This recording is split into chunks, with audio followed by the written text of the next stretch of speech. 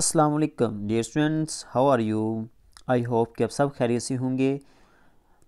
Students आज के इस लेक्चर में हम डिस्कस करने जा रहे हैं आठमन 2020 एग्ज़ाम का जो पेपर है, चौदह सौ उनतीस कोड और चौवन सौ पाँच कोड का जो पेपर है, वो इंशाल्लाह आज हम डिस्कस करेंगे।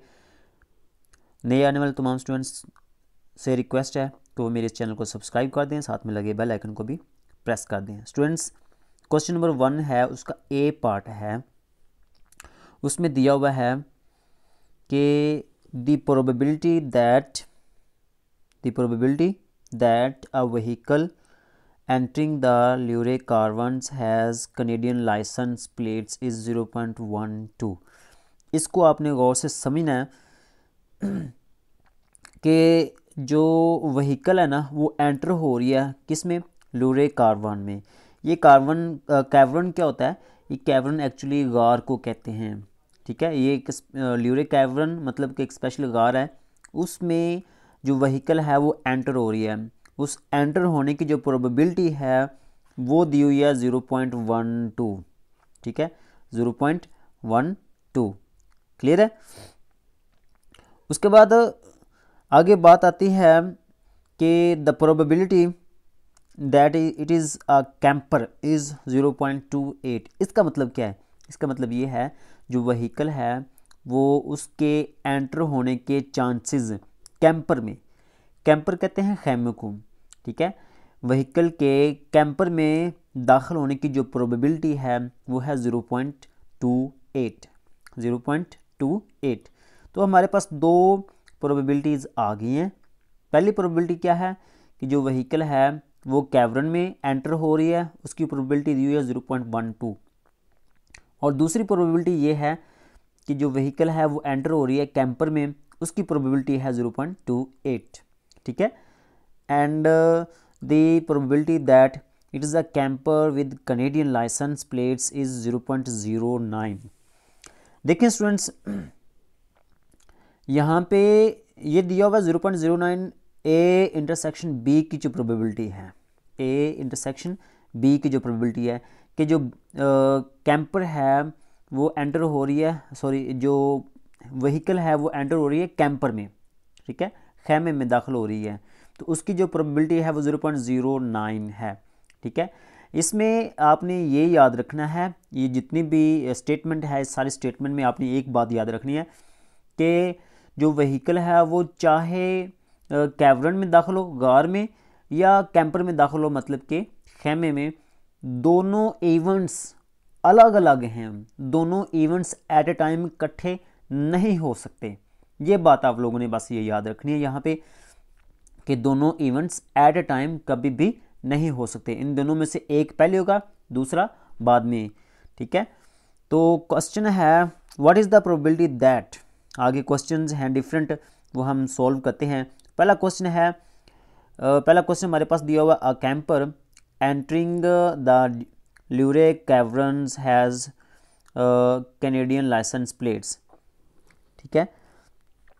इस, इसको हमने हल करना है। इसको हल करने से पहले हमारे पास जो डाटा दिया हुआ है क्वेश्चन में वो हम देखते हैं कि उसमें डाटा कौन कौन सा है। ठीक है? उसमें डाटा कौन कौन सा है? तो वो हम देखते हैं। पहले पहले हमारे पास डाटा ये है कि जब वहीकल एंटर होती है कैंपर में तो वो इवेंट ए का नाम दे देते हैं। और जब वहीकल एंटर होती है कैवरन में, उसको इवेंट बी का नाम दे देते हैं। हमारे पास दो ही इवेंट है ना, कि या तो वहीकल एंटर होगी कैंपर में, या वहीकल एंटर होगी कैवरन में। ठीक है? दो इवेंट्स हैं हमारे पास ए और बी ए इवेंट किसके लिए है? कैंपर के लिए है। बी इवेंट किसके लिए है? कैवरन के लिए है। ठीक है? तो इसको आपने गौर से याद रखना है। और दूसरी बात मैंने बता दी है ये दोनों इवेंट्स क्या हैं? ये दोनों इवेंट्स एट ए टाइम कभी भी अक्कर नहीं हो सकते। कभी भी अक्कर नहीं हो सकते। ठीक है? ये इंडिपेंडेंट इवेंट्स हैं। ठीक है? तो ये हमारे पास दो इवेंट्स हैं। अगर हमारे पास पहला इवेंट है ना ए ठीक है कि जो व्हीकल है वो कैंपर में एंटर हो रही है तो उसकी जो प्रोबेबिलिटी होगी, ठीक है उसकी जो प्रोबेबिलिटी होगी, वो क्या होगी? वो कुछ इस तरह से होगी। पी ऑफ़ ए ठीक है? अगर वहीकल एंटर हो रही है कैंपर में तो उसकी जो प्रोबेबिलिटी है, वो क्या होगी? पी ए और वो दी हुई है ज़ीरो पॉइंट टू एट और अगर वहीकल एंटर हो रही है, किसमें? वहीकल किसमें एंटर हो रही है? कैवरन में तो उसकी प्रोबेबिलिटी क्या होगी? पी बी वो कितनी होगी? पी बी और वो दी हुई है, कितनी दी हुई है? Zero point one two, zero point one two, ठीक है? ये हमारे पास दो प्रोबेबिलिटीज़ हैं। ए की प्रोबेबिलिटी निकालें कैंपर की तो वो P of A equal to zero point two eight. B की प्रोबेबिलिटी निकालेंगे तो वो आएगी P of B is equal to zero point one two. ये ऑलरेडी क्वेश्चन में दी हुई है। उसके अलावा तीसरे नंबर पे एक और चीज़ भी दी हुई है, वो ये है। And the probability that it is camper with Canadian licence plates के यहाँ पे ये याद रखना है आपने कि दोनों क्या हैं? दोनों ऐसे इवेंट्स हैं जो कभी भी एट ए टाइम अक्कर नहीं हो सकते। इसलिए यहाँ पे आएगा ए इंटरसेक्शन बी स्टूडेंट्स याद रखना आप लोगों ने कि ए इंटरसेक्शन बी उस वक्त आता है जब हमारे पास दो ऐसे इवेंट्स हों जो इंडिपेंडेंट हों एट ए टाइम अक्कर ना हों। ठीक है? तो ये प्रोबेबिलिटी ये है कि जो व्हीकल है वो एंटर हो रही है कैंपर में। किसमें एंटर हो रही है कैंपर में।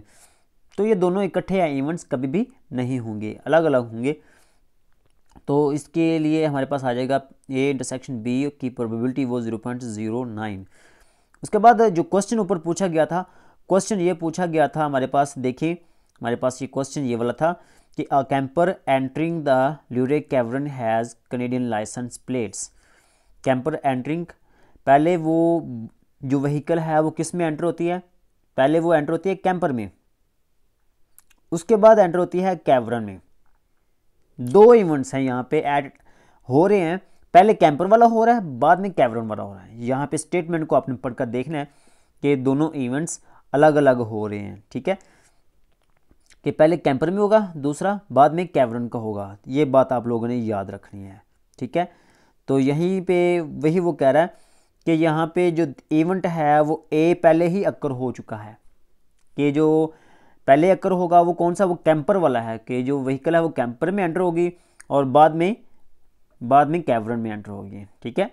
तो इसको हम कहेंगे B of A B over A की प्रोबेबिलिटी बी ओवर ए की प्रोबेबिलिटी जब हमारे पास एक इवेंट पहले हो चुका हो और बाद में दूसरा इवेंट हो तो उस वक्त उसको हम कहते हैं बी ओवर ए की प्रोबेबिलिटी और वो हमारे पास इक्वल होती है इसके। ठीक है? Probability of A intersection B over probability of A ठीक है? तो यहाँ पे दोनों वैल्यू दी हुई हैं। ए इंटरसेक्शन बी की वैल्यू भी ऊपर दी हुई है क्वेश्चन में और प्रोबेबिलिटी ऑफ़ ए की वैल्यू भी हमारे पास दी हुई है। इन दोनों को डिवाइड करें तो हमारे पास आंसर आ जाएगा। ठीक है? तो ये हमारे पास आ गई पहली प्रोबेबिलिटी ठीक है? ये वो प्रोबेबिलिटी है जब एक इवेंट हो, फिर उसके बाद दूसरा इवेंट हो। ओके उसके बाद दूसरा बी पार्ट है उसका, दूसरा क्वेश्चन इसका। A vehicle with Canadian licence plates entering the Luray cavern is a camper. यहाँ पे उसका उल्टा आ गया, पहले वाले का, कि जो यहाँ पे वहीकल है वो किसमें एंटर हो रही है? पहले कैवरन में एंटर हो रही है और बाद में कैंपर में। तो कैंपर वाला जो इवेंट है वो ए है, जो कैवरन वाला इवेंट है, वो बी है, ठीक है? तो देखें, हमारे पास पहले जो कौन सा हो रहा है, पहले कैवरन वाला हो रहा है कैवरन्स मतलब बी इवेंट हो रहा है तो बी नीचे, आएगा, जो पहले इवेंट होता है, वो नीचे आएगा, जो बाद में इवेंट होगा, वो बाद में, वो ऊपर आएगा, ठीक है? तो इसका फार्मूला वही पीछे वाला ही आएगा ए इंटरसेक्शन बी की प्रोबेबिलिटी और बटे के नीचे बी है तो यहाँ पे बी लिख लेंगे, और इसकी वैल्यू भी दी हुई है, इसकी वैल्यू भी दी हुई है क्वेश्चन में दोनों यहाँ पे पुट करेंगे तो हमारे पास आंसर आ जाएगा। ठीक है? तो probability of A intersection B वो भी दी हुई है, वो दी हुई है zero point nine probability of B वो भी दी हुई है, वो दी हुई है ज़ीरो पॉइंट वन टू तो हम इन दोनों को डिवाइड करने से हमारे पास आंसर आ जाएगा ज़ीरो पॉइंट सेवन फाइव ठीक है? उसके बाद हमारे पास नेक्स्ट पार्ट है। क्वेश्चन है a vehicle entering the Luray caverns does not have Canadian plates और इज़ नॉट अ कैंपर वो ये कहता है कि जो वहीकल है, वो एंटर हो रही है। तो वो जो एंटर हो रही है, वो ना तो कैवरन में एंटर हो रही है और ना ही ना ही कैंपर में एंटर हो रही है। ये बात याद रखनी है। यहाँ पे वर्ड आ रहा है और। ये आ रहा है और। इसका मतलब क्या है? कि दोनों इवेंट्स ही अक्कर नहीं हो रहे। दोनों इवेंट्स अक्कर नहीं होंगे। ना ए इवेंट होगा, ना बी इवेंट होगा। क्लियर है? और ये वो कौन से इवेंट हैं? ये वो इवेंट हैं जो एट अ टाइम कभी भी नहीं अक्कर हो सकते। ये बात याद रखनी है। तो इसके लिए हमने ए इंटरसेक्शन बी अब मैंने पहले बता दिया है कि ए इंटरसेक्शन बी क्यों आया क्योंकि क्योंकि हमारे पास दो ऐसे इवेंट्स हैं जो इंडिपेंडेंट है। उसके लिए ए इंटरसेक्शन बी लगाया है, ठीक है? कि एट अ टाइम कभी भी दोनों इवेंट्स अक्कर नहीं हो सकते। तो ये सी ऊपर क्यों लगाया है? सी उस वक्त लगाते हैं जब हमारे पास दोनों इवेंट्स अक्कर ना हो। यहाँ पे लिखा हुआ है और मतलब दोनों इवेंट्स हमारे पास यहाँ पे अक्कर नहीं होंगे। तो इसलिए यहाँ पे सी लगाया है और इसका फार्मूला ये है one minus P probability of A intersection B ठीक है? सी के नीचे जो भी यहाँ पे दिया गया होगा, यहाँ पे वो यहाँ पे आ जाएगा। क्लियर है?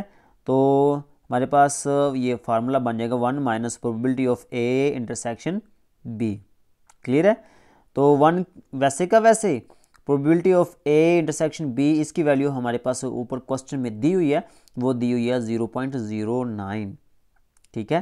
Zero point zero nine clear है?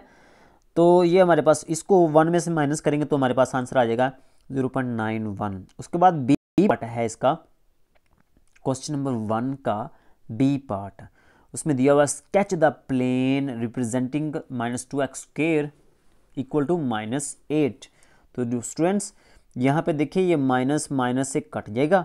बाकी रह जाएगा two x square equal to eight और ये टू एट से कैंसिल हो जाएगा। दो एक दो दो चार आठ और एक्स स्केयर इक्वल टू चार आ गया।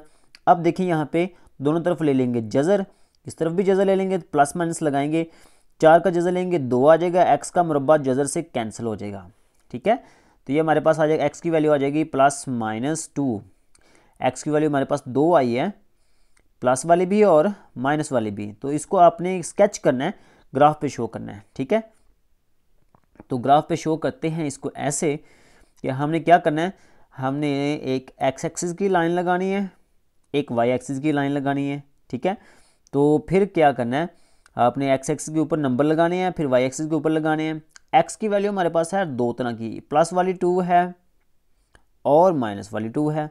तो यहाँ पे इन दोनों के दरमियान ये लाइन ड्रॉ कर देनी है कि हम ये शो करने के लिए हमारे पास एक्स की वैल्यू ये वाली है, ठीक है? टू से लेकर माइनस टू तक।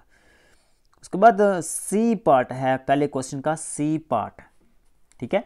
उसमें दिया हुआ है given that the points minus four eight and six minus twelve determine the midpoint of the line segment connecting the points तो ये हमारे पास दो पॉइंट्स दिए हुए हैं ठीक है?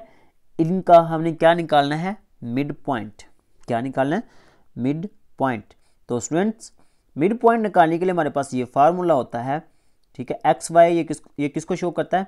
एक्स वाई शो कर रहा है मिड uh, पॉइंट को ठीक है? तो ये वाला एक्स वाई ये मिड पॉइंट है। एक्स मिड पॉइंट निकालने के लिए हमारे पास ये फार्मूला होगा x one plus x two over two और वाई निकालने के लिए हमारे पास फार्मूला ये वाला होगा y one plus y two over two ठीक है? तो यहाँ पे x one x two y one y two ये कहाँ से आ गया? ये आपने अच्छे तरीके से कर लेना, याद रखना है कि यहाँ पे क्वेश्चन में दिया हुआ है कि ये वाली जो पहली वैल्यू है, ये एक्स वन है, यहाँ पे जो पहली वैल्यू है, ये एक्स टू है, ठीक है? यहाँ पे जो पहली वैल्यू है, वो वाई वन है, यहाँ पे जो पहली वैल्यू होगी, वो वाई टू होगी। वो यहाँ पे जस्ट आपने पुट करनी है, बस। ठीक है? यहाँ पे पुट की। ठीक है? एक्स वन की वैल्यू हमारे पास आ जाएगी माइनस फोर एक्स टू की वैल्यू आ जाएगी सिक्स वाई वन की वैल्यू ऊपर दी हुई है एट वाई टू की वैल्यू भी दी हुई है ट्वेल्व अब इसको हल करेंगे छः में से चार निकाले दो बटा दो, बारह में से जमा के आठ निकालेंगे, बाकी माइनस चार बटा दो। ठीक है? तो ये हमारे पास आ गया। अब दो बटा दो, एक के बराबर आएगा, माइनस चार बटा दो, माइनस दो के बराबर आएगा। इसको हम ग्राफ पे भी शो कर सकते हैं। हमारे पास दो पॉइंट्स थे ना। पहला पॉइंट था ये वाला सिक्स वो माइनस ट्वेल्व एक्स की वैल्यू सिक्स है वाई की वैल्यू ट्वेल्व है। ठीक है? उसके बाद दूसरा पॉइंट है एक्स की वैल्यू माइनस फोर है वाई की वैल्यू कितनी है, वो एट है। ठीक है? तो ये पॉइंट्स आपने लगाने हैं। दो पॉइंट्स आ गए एक ये वाला एक ये वाला। जब आपने मिड पॉइंट निकाला तो मिड पॉइंट का आंसर क्या है वन वो माइनस टू वो ये वाला आ गया। वन वो माइनस टू सेंटर में, ठीक है? तो ये हमारे पास इसका बन गया ग्राफ भी, ठीक है? ग्राफ भी आ गया मिड पॉइंट भी आ गया, ठीक है? उसके बाद नेक्स्ट क्वेश्चन है हमारे पास distance between the midpoints minus four वो एट सिक्स वो माइनस ट्वेल्व तो मिड पॉइंट निकालना सॉरी डिस्टेंस निकालना है दो पॉइंट्स के दरमियान। हमारे पास दो पॉइंट्स हैं, एक ये वाला पॉइंट है, एक ये वाला पॉइंट है, ठीक है? इनके दरमियान हमने निकालना है डिस्टेंस तो डिस्टेंस को हम डी से शो करते हैं, उसका फार्मूला ये है x two minus x one mod का square y two minus y one mod का स्केयर ठीक है? तो वही आपने ये एक्स वन की वैल्यू है, ये एक्स टू की वैल्यू है। तो x two minus x one six minus into minus four mod का स्केयर बन गया। उसके बाद वाई टू वाई टू यहाँ पर ये दिया हुआ है माइनस ट्वेल्व माइनस ट्वेल्व लिख लेना है और ये वाई वन है माइनस एट लिख लेना है। और इसको आगे हल कर लेना है। तो ये सिक्स माइनस माइनस प्लस हो जाएगा फोर प्लस का फोर हो गया। इसी तरीके से माइनस बारह और माइनस आठ माइनस का बीस हो जाएगा, ठीक है? तो सिक्स प्लस फोर टेन हो गया, बारह और आठ माइनस का बीस हो जाएगा, ठीक है? तो ये हमारे पास आ गया। टेन का स्केयर हंड्रेड हो गया, ट्वेंटी का स्केयर फोर हंड्रेड हो गया। देखें स्टूडेंट्स, आप लोगों ने याद रखना है जो जब भी हम स्केयर लेते हैं तो जो माइनस होती है, वो ये वाली, वो ख़त्म हो जाती है, वो चार सौ आ गया। चार सौ और सौ, पाँच सौ पाँच सौ का जज़र लें तो फिर क्या आएगा? देखें स्टूडेंट्स, आपको ये फैक्टराइजेशन तो आती है ना? ठीक है? फैक्टराइजेशन आती है। तो फैक्टराइजेशन में देखें 500 की फैक्टराइजेशन करें तो ये हमारे पास आपको आती है। यहाँ पे देखें, दो, एक ये पेयर बनता है, एक ये पेयर बनता है। तो ये पाँच एक बच जाता है, वो एक पाँच बचेगा बाकी पेयर बन जाएँगे। ठीक है? तो ये इन पेयर में से एक एक बाहर आ जाएगा, पाँच भी बाहर और दो भी बाहर, अकेला एक पाँच जजर के अंदर रह जाएगा। पाँच ज़रब दो दस, पाँच का जजर तो ये हमारे पास आंसर आ गया। ठीक है? तो इसको फैक्टराइजेशन आई होप कि आप लोगों को आती होगी, ठीक है?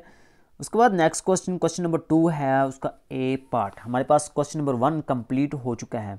तो ये स्टूडेंट्स ये क्वेश्चंस आपको उसी वक्त ही समझ आएँगे जब आपने ओवरऑल बुक्स को टच किया होगा। बुक्स के क्वेश्चन आते होंगे, ठीक है? तो स्टूडेंट्स अब हम क्वेश्चन नंबर टू करते हैं। उसका ए पार्ट है।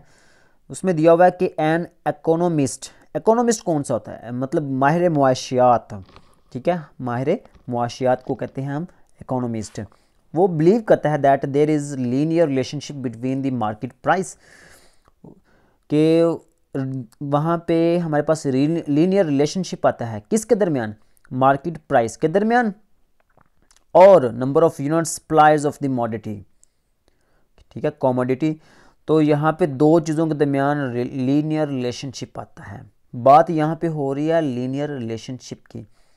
जब बात आ जाए लीनियर रिलेशनशिप की तो उस वक्त आप लोगों के जेन में दो तीन बातें आप लोगों ने याद रखनी है कि वो कौन कौन सी आपके जेन में आनी चाहिए। ये बात जब आ जाए लीनियर रिलेशनशिप की, ठीक है? तो जब लीनियर रिलेशनशिप का वर्ड आ जाए तो आपके जेन में एक नंबर एक पे स्लोप का ज़िक्र आना चाहिए। आपके जेन में स्लोप के बारे में आना चाहिए। दूसरा ग्राफ के बारे में आना चाहिए। तीसरा वहाँ पे एक सी कांस्टेंट की वैल्यू जनरल फार्मूला आपको लीनियर रिलेशनशिप का आना चाहिए। ये तीन बातें आप लोगों ने यहाँ पे गौर से देखनी है।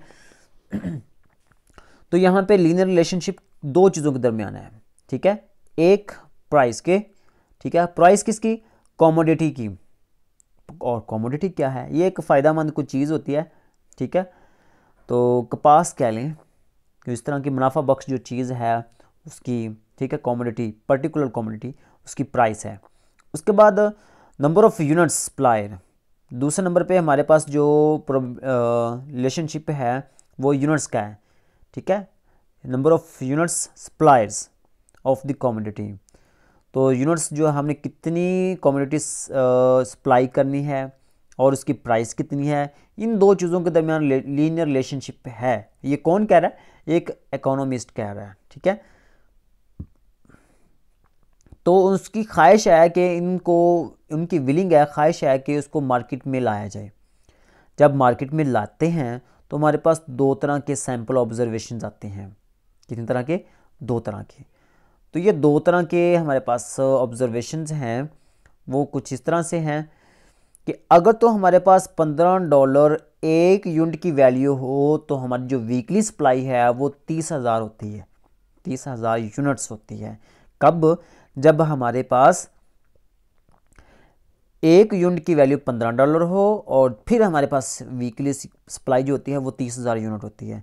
लेकिन अगर अगर बीस डॉलर आ जाए एक यूनिट की प्राइस तो फिर वीकली जो हमारे पास सप्लाई होगी वो अड़तालीस हज़ार यूनिट्स होगी। कितनी होगी? अड़तालीस हज़ार यूनिट्स होगी। क्लियर है? तो वो हमारे पास अड़तालीस हज़ार यूनिट आ गई। ठीक है? तो क्वेश्चन में दो चीज़ें हैं। जब हमारे पास एक यूनिट की वैल्यू एक यूनिट की प्राइस पंद्रह डॉलर हो तो एक वीक में जो सप्लाई होती है, वो तीस हज़ार यूनिट्स होती है। लेकिन अगर एक यूनिट की वैल्यू बीस डॉलर हो तो उस वक्त वीकली सप्लाई कितनी होती है? अड़तालीस हज़ार यूनिट्स क्लियर है? ये दो चीज़ें क्वेश्चन में पूछेंगी। हैं उसका ए पार्ट है ए पार्ट इसका फ़र्स्ट क्वेश्चन है फ़र्स्ट पार्ट है, उसमें दिया हुआ है इफ़ प्राइस पर यूनिट जो प्राइस है, वो उसको हम पी से शो करेंगे, ठीक है? और उसको हम हॉरिजॉन्टल लाइन पे शो करेंगे, लिखेंगे। हॉरिजॉन्टल लाइन इस तरह की होती है, ठीक है? ये हॉरिजॉन्टल लाइन है। तो हॉरिजॉन्टल लाइन है, उसको हॉरिजॉन्टल लाइन पे पी होगा, ठीक है? एंड जो क्वांटिटी होगी, जो यूनिट्स होंगे क्यू क्यू से मुराद यहाँ पे क्वांटिटी है यूनिट्स हैं वो कहाँ पे होंगे? वो वर्टिकल एक्सिस पे होंगे। किस पे होंगे? वर्टिकल एक्सिस पे होंगे। ठीक है? और वर्टिकल एक्सिस किसको कहते हैं? वर्टिकल एक्सिस इस तरह का होता है। ठीक है?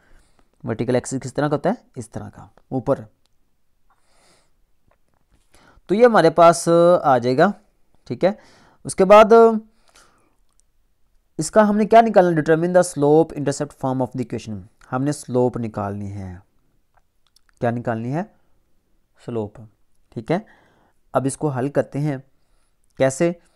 देखें स्टूडेंट्स हमारे पास स्लोप का जो फार्मूला है ना, लेकर लीनियर इक्वेशन का जो फार्मूला है स्ट्रेट लाइन का जो फार्मूला है, वो है y equal to m x plus c और, अब हम, अगर हम बात करें उसके ग्राफ की तो देखें स्टूडेंट्स जो स्टेटमेंट दिया हुआ है ना, पंद्रह डॉलर पे, पंद्रह डॉलर अगर एक यूनिट की वैल्यू है तो उस जो सप्लाई होगी वो तीस हज़ार होगी। अगर बीस डॉलर एक यूनिट की प्राइस है तो उसको सप्लाई कितनी होगी? अड़तालीस हज़ार सप्लाई होगी, ठीक है?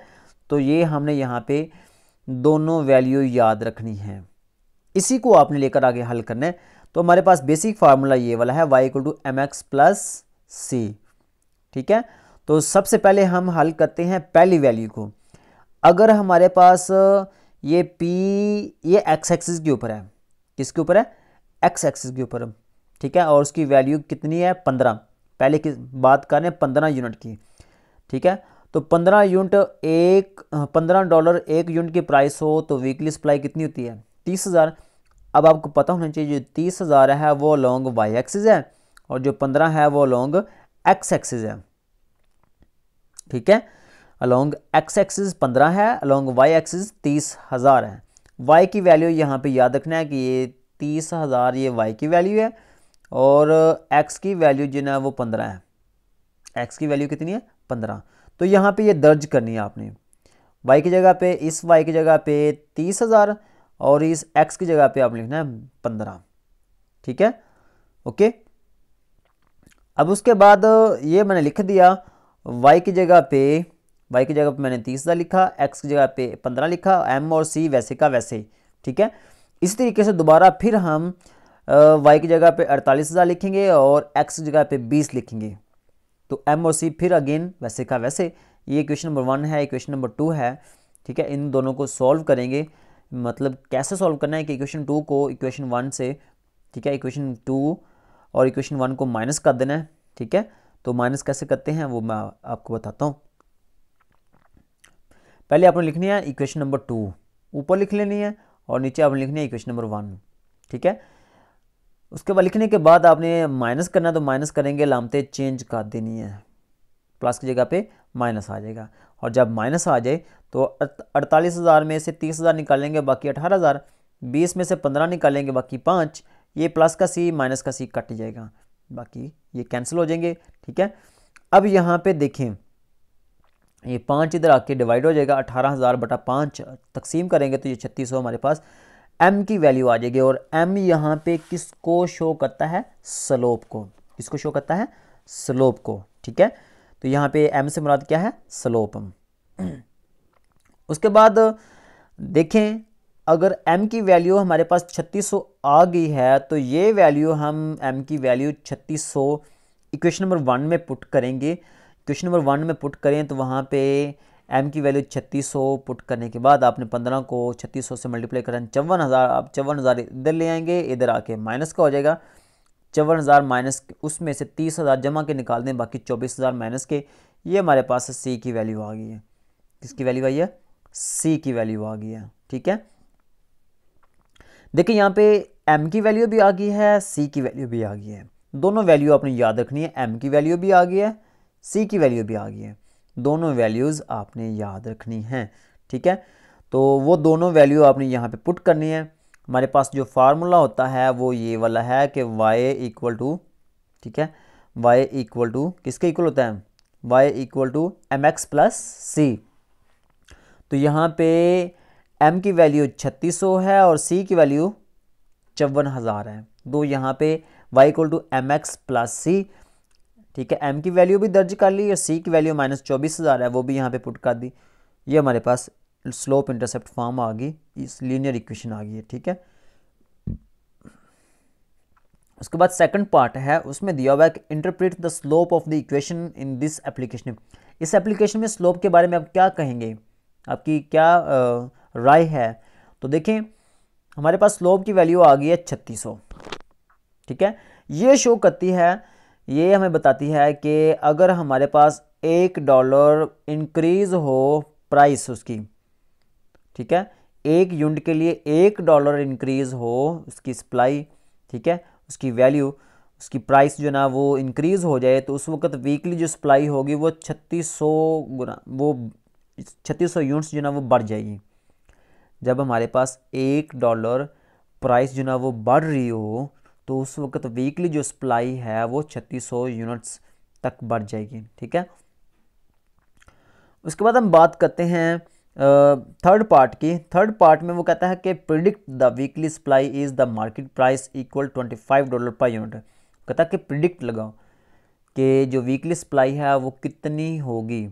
The market price equal to twenty five dollar अगर प्राइस जो ना वो ट्वेंटी फाइव डॉलर हो पर यूनिट तो हमारे पास यहाँ पे फ़र्ज़ का लिया, सपोज़ का लिया एक्स की वैल्यू यहाँ पे दी हुई है ट्वेंटी फाइव ठीक है?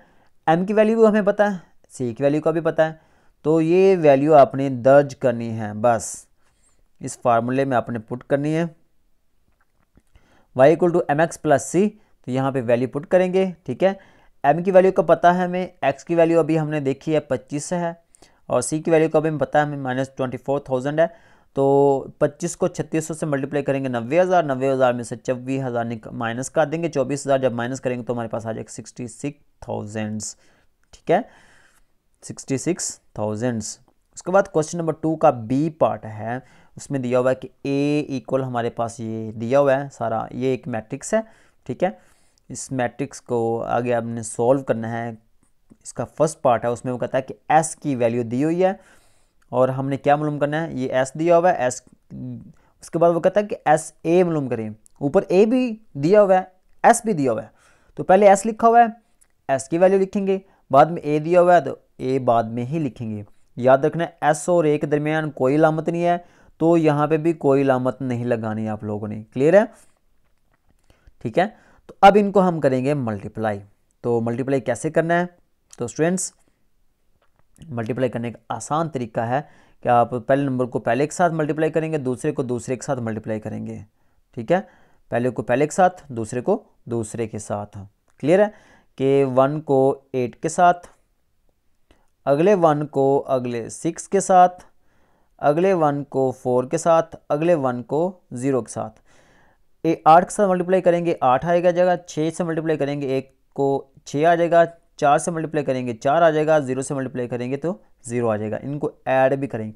इस तरीके से अब इसी को आपने मल्टीप्लाई करना है इन नंबरों से। ठीक है? सात से, नौ से, तीन से और दो से। ठीक है? तो वो हम करेंगे।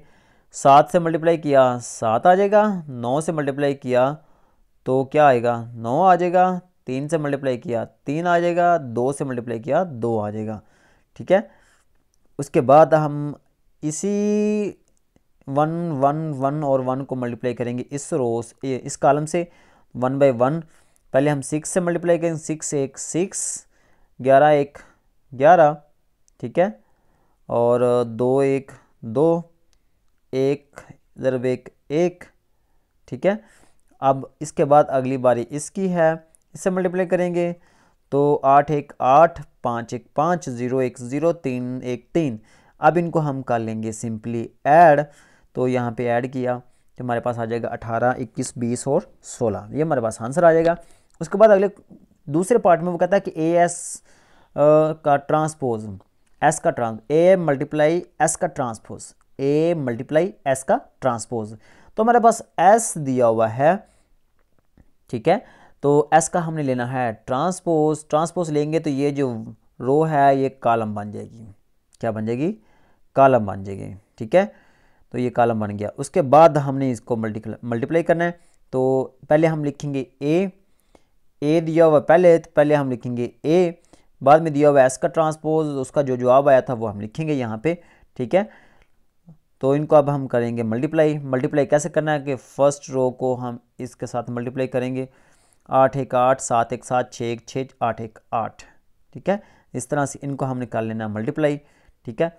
और अगर आप फिर भी मज़ीद मल्टीप्लाई करना नहीं आ रहा तो आप, ठीक है, मेरे लेक्चर दिए हुए हैं तीसरे, चौथे चैप्टर के, चौथे और पाँचवें चैप्टर के तो वहाँ से आप देख सकते हैं ठीक है?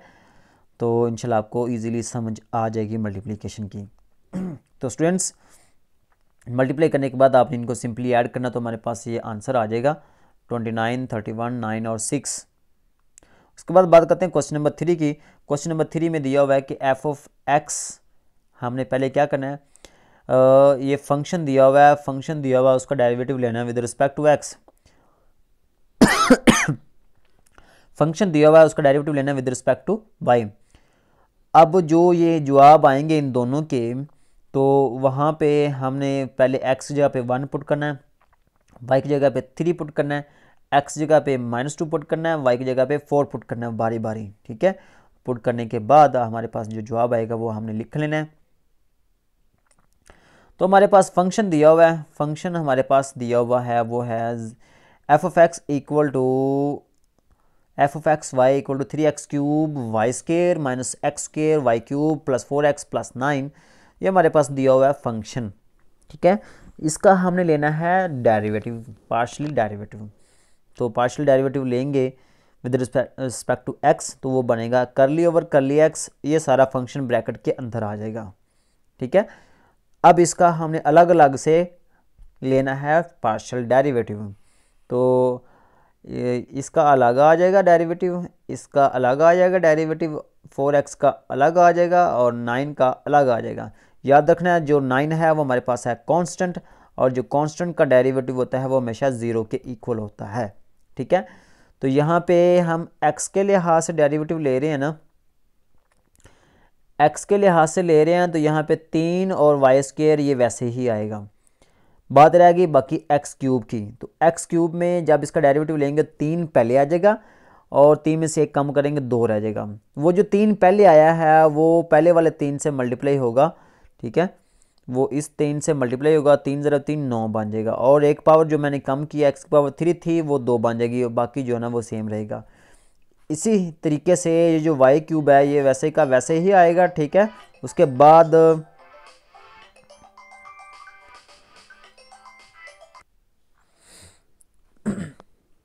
तो इसी तरीके से ये जो वाई क्यूब है, ये वैसे ही आ जाएगा एक्स स्क्वेयर का डेरिवेटिव आ जाएगा हमारे पास टू एक्स ठीक है? हमारे पास क्या आ जाएगा? टू एक्स तो वो टू एक्स हमारे पास डेरिवेटिव आ गया। क्लियर है?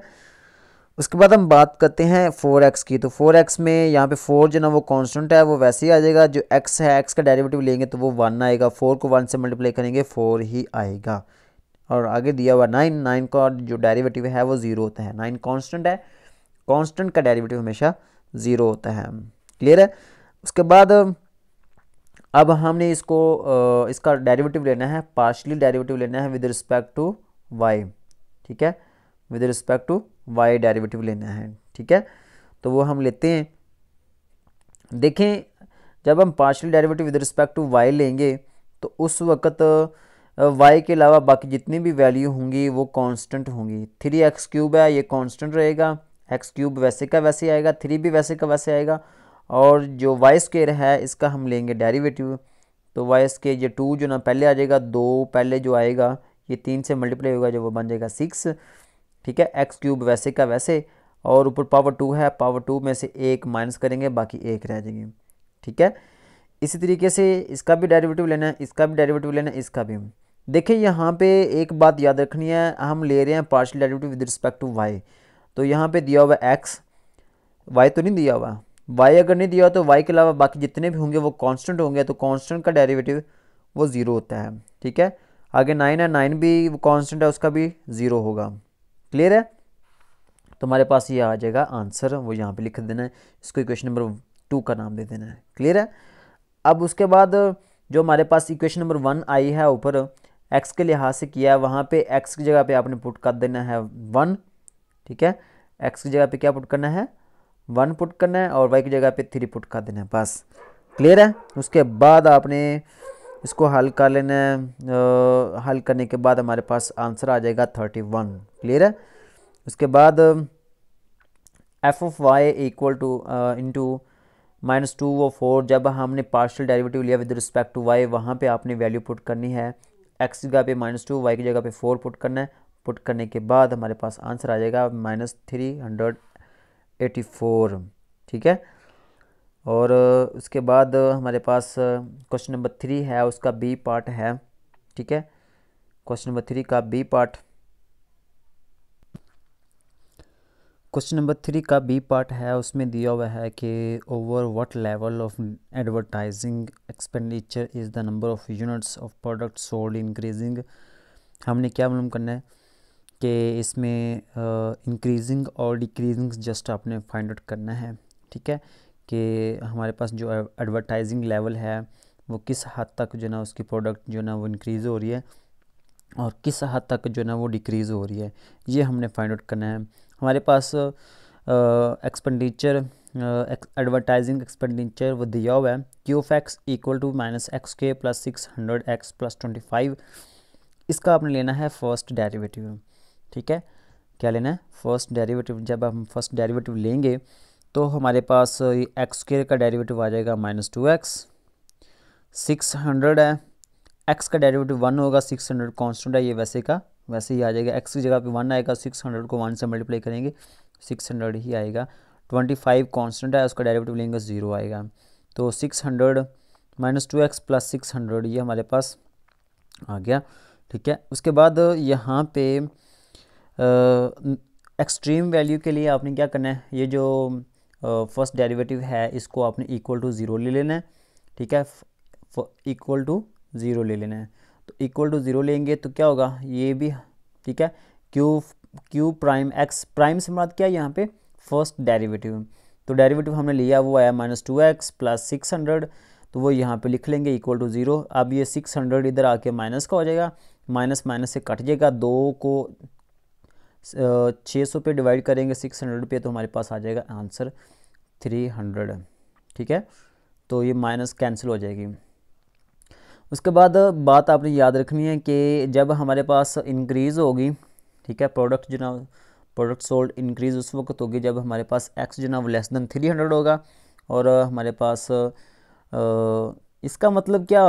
अगर हमारे पास एक्स की वैल्यू वो तीन सौ से छोटी होगी वैल्यू कम होगी तो प्रोडक्ट जी ना वो ज़्यादा सेल होगी ना। और अगर हमारे पास एक्स की वैल्यू ज़्यादा होगी तो प्रोडक्ट हमारे पास उसकी जो सेल है वो डिक्रीज़ हो जाएगी। तो जस्ट हमने ये फाइंड आउट करना था। कैसे फाइंड आउट करना है?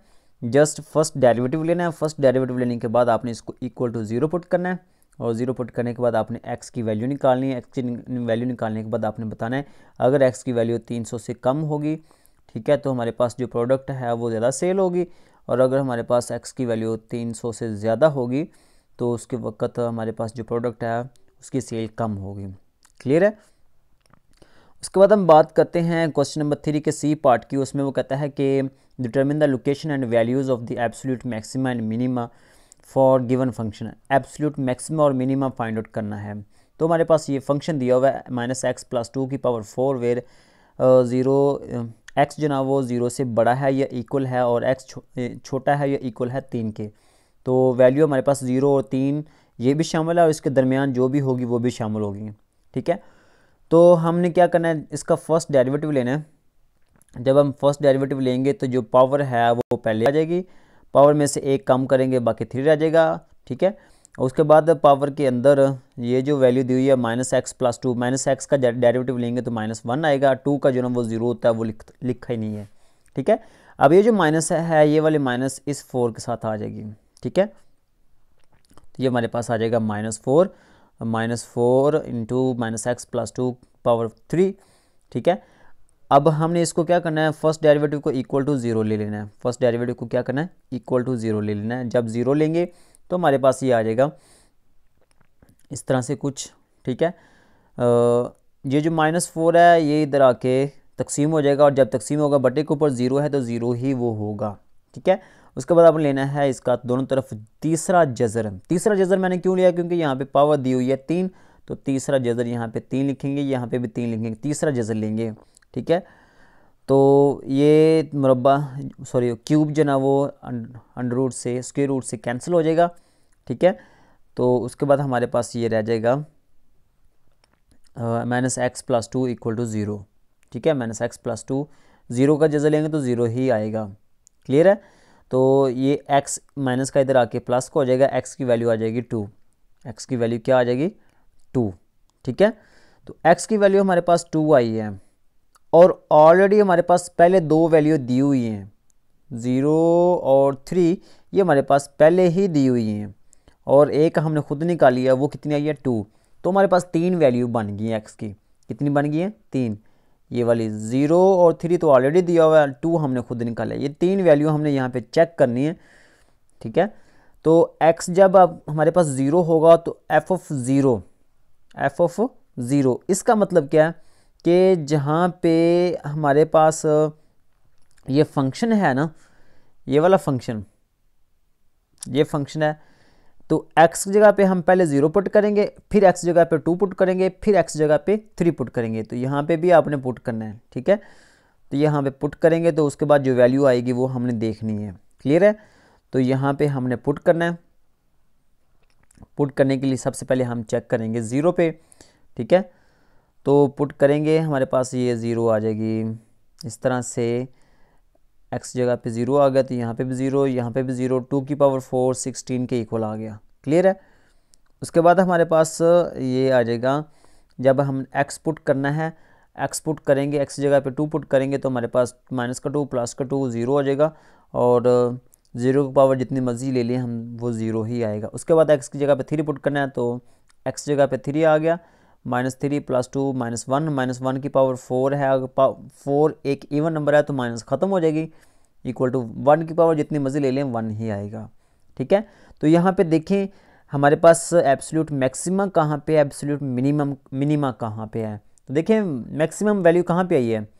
मैक्सिमम वैल्यू उस वक्त आई है जब हमारे पास एक्स की वैल्यू ज़ीरो है। एक्स की वैल्यू ज़ीरो है और जो जवाब आया वो सोलह है। तो हमारे पास ये एक पॉइंट बन गया ज़ीरो और सोलह। ज़ीरो और सोलह। वो यहाँ पे आपने याद रखना है कि absolute maximum value given function is सोलह at x equal to zero और मिनिमम कब कब होगी? जब हमारे पास एक्स की वैल्यू टू हो और और y की वैल्यू ज़ीरो हो। वाई की वैल्यू क्या हो? ज़ीरो हो। वो हमने देख ली है। वो यहाँ पे देखें। X की वैल्यू हमारे पास टू आई है और हमारे पास आउट हमारे पास जो आउटपुट है वो ज़ीरो ही आई है, ठीक है? तो मिनिमम ये उस वक्त होगा जब एक्स की वैल्यू टू हो और वाई की वैल्यू ज़ीरो हो, ठीक है? तो यहाँ पे आपने बताना है कि जो एब्सोल्यूट मिनिमा है मिनिमम उस वक्त होगा जब हमारे पास ज़ीरो आएगा, कब? जब एक्स की वैल्यू टू हो। तो ये एक्स की वैल्यू टू है वाई की वैल्यू ज़ीरो है। तो ये हमारे पास दो पॉइंट्स बन गया। ठीक है? दो पॉइंट्स बन गए हैं। तो ये पॉइंट्स आप लोगों ने याद रखने हैं। इसको आप ग्राफिकली भी ड्रा कर सकते हैं। ग्राफिकली ड्रा करने के बाद आप लोगों से यही उम्मीद है कि आप लोगों को क्वेश्चन की समझ आई होगी। और इन जल्द ही आपको अभी जो प्रीवियस पेपर हुआ है, ठीक है? स्प्रिंग 2021 का जो पेपर हुआ है, वो भी इंशाल्लाह आपको जल्द ही मिल जाएगा। लेकिन इससे पहले हमारे चैनल को सब्सक्राइब कर दें, साथ में लगे बेल आइकन को भी प्रेस कर दें।